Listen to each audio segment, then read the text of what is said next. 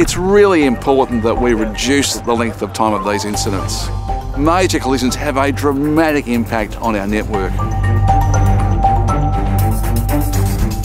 The critical work that Victoria Police Major Collision Unit have to do with their measurements and assessments of a scene currently take a minimum of four hours, a minimum. This technology can halve that. This scanner captures the entire scene. 3D laser scan, it captures millions and millions of points of measurement that can then be played back to a jury, played back to a judge or a defence counsel.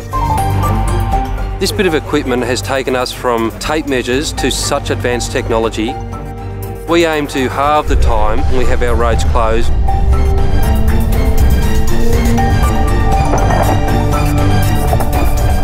A $300,000 investment by Vic Roads in keeping Melbourne moving, in getting people home on time and getting goods around the economy. We think it's a really good investment.